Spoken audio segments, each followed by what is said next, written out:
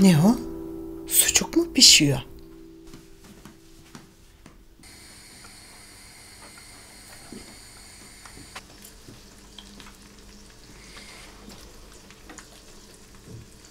Hayrola gelin hanım?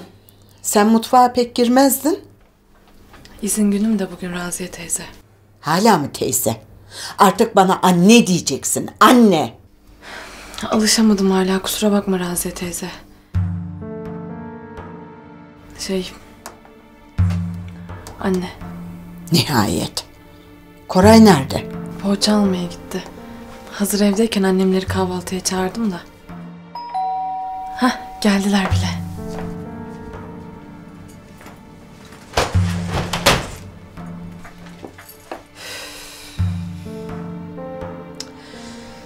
Ola ola bu çulsuzlarla dünür oldum.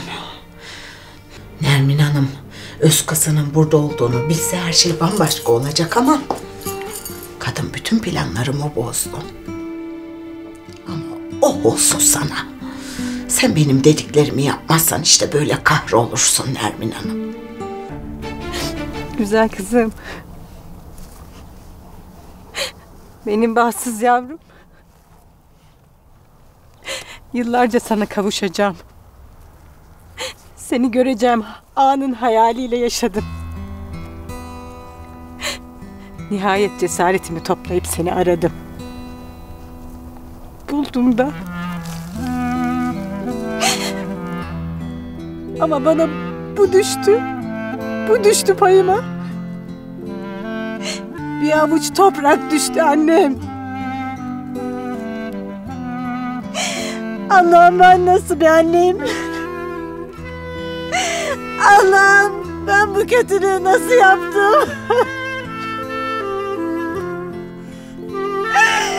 nasıl yaptım ben bu kötülüğü kızıma?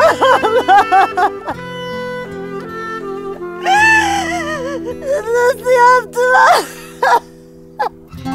Dur bakayım dur. Anneciğim tamam bak o çok ben yemem o kadar. Yersin kızım yersin. Protein yemen lazım yavrum bebek için. Sütünü de içeceksin, yumurtanı da yiyeceksin her gün. Tabii tabii canım. Sen merak etme Nurhancığım. Ben sürekli tepesindeyim zaten. Her gün süt de içiriyorum. İyi yapıyorsun Raziye. Bu yoksa vallahi ihmal eder kendini biliyorum ben. Siz merak etmeyin anneciğim. Ben gözüm gibi bakıyorum karıma.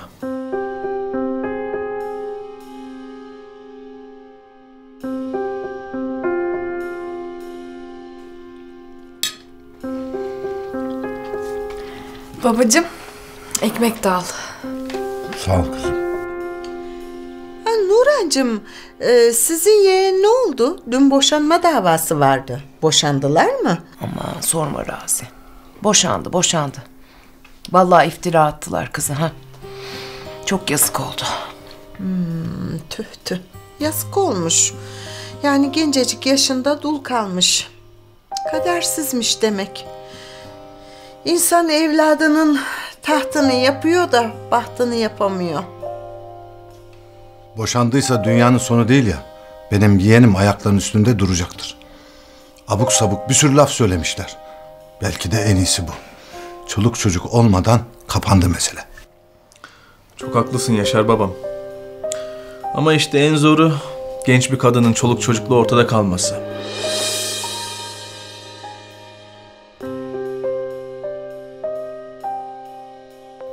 Değil mi? Aman dur bak kafamı karıştırıyorsunuz. Asıl ben size ne göstereceğim. Hı.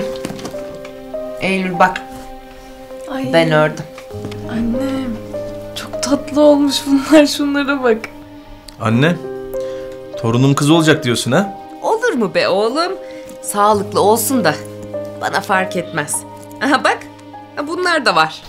Ya ben yerim onları şuna bak ne kadar tatlılar. Anneciğim sen niye zahmet ediyorsun? Niye bu kadar işin gücünün içinde bunlarla uğraşıyorsun bir de? Ev yüncü dükkanına döndü. İkiz olsa altlı üstü yetecek kadar kıyafet var. Aman be Yaşar. E, ne yapayım hoşuma gidiyor. Şuna baksana. Bak minik minik bayram şekeri gibi. Kız her şeyin küçüğü güzel ha. O daha ne ki dur bak bak. Daha neler var. Bak. Şunu görüyor musun Eylül? Ay bir kalkıp benim geç kalacağım. E git anne. Biz oturuyoruz daha. Ne çabuk hanım köylü oldun sen. Hani sen bırakacaktın beni. Aa Arzu arıyor. Efendim Arzu? İyiyim canım sen nasılsın?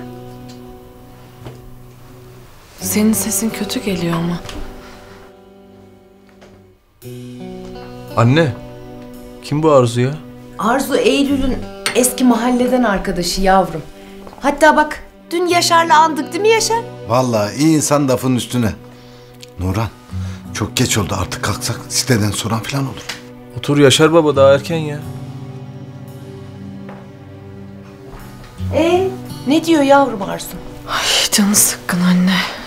Okulla ilgili. Bir sınavı varmış geç kalmış. Hoca da geç kalınca almamış sınavı. Dersten kalmış okulu uzayacakmış. Babası da bayağı kötü konuşuyormuş. Öyle. Aa, e daha dün annesiyle konuştuk bir şey demedi ya. Anne benim hiç içime sinmedi ya. Acaba gitsem mi bir yanına? Yavrum sen bilirsin. Evladım artık bunlara annene değil kocana soracaksın. Gitsin gitsin. İzin gününde arkadaşını görür. Bir değişiklik olur. Biz de kalkalım artık Yaşar. Sen git yavrum. İyi tamam. Gideyim ben o zaman. Raziye teyze bu arada bu kahvelerin fincanlarını yıkama. Ben hallederim gelince tamam? Yani bir anne dedirttiremedim şu gelinime. Tamam kızım. Sen git keyfine bak. Ben hallederim bulaşıkları. İyi tamam. Hadi görüşürüz. Güle güle yavrum. Ben bu acıyı hak ettim. Bu acıyı hak ettim. Ama sen masumdun. Ama sen masumdun anne. Benim günahımın acısını senin yaşaman reva mı? Yaşaman reva mı yavrum? Allah'ım ben nasıl bir anneyim?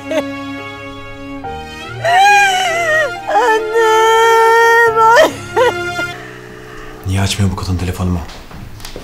Hadi anne, hadi aç şunu. Bahtsız yavrum. Annem.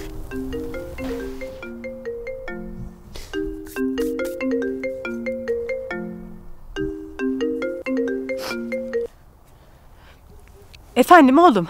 Anne, niye telefonumu açmıyorsun? Duymamışım oğlum. Bak sen iyi değilsin. Ne oldu anlat. Benden bir şey saklıyorsun. Belli ki bir şeye üzülüyorsun. Dalgınlık işte. Ya Allah'tan burada bıraktığımı hatırladım yoksa çaldırdım sanıp karakol karakol gezecektim. Neyse hadi sana kolay gelsin. Teşekkür ederim.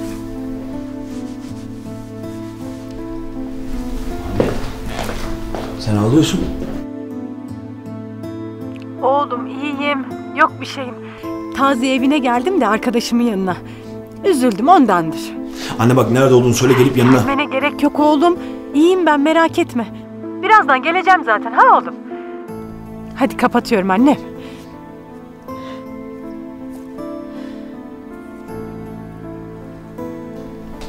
Ne oldu? İyi mi annen? Bilmiyorum. Daha önce annemi hiç bu şekilde görmedim. Çok üzgün.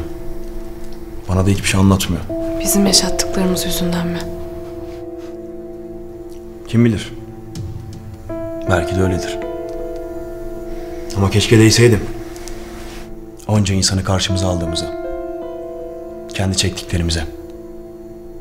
Çevremizdeki insanlara yaşattıklarımıza değseydi.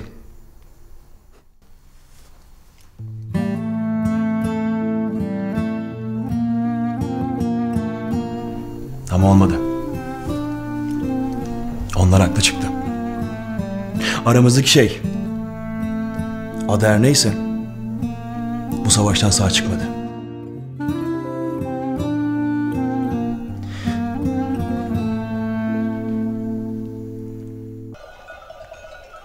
Abla hayırlı günler. Sorma sahip. Sen burada ne yapıyorsun? Burası benim kızımın mezarı. Yavrum burada yatıyor. Burada mı? Abla bir yanlışın olmasın. Ben yıllardır bu tepede koyun güderim. Burası düne kadar dümdüz topraktı. Mezar yoktu. Dün gelip tahta bıraktı adamın biri. Burayı mezar gibi yaptı. Hayır burası benim kızımın mezarı. Vallahi ben yalan mı söylüyorum? Senin kızın öldü dediler. Mezarı burada dediler. Nerede o zaman benim kızım? Kızım nerede o zaman benim? Nerede o zaman benim yavrum nerede? Benim yavrum nerede o zaman?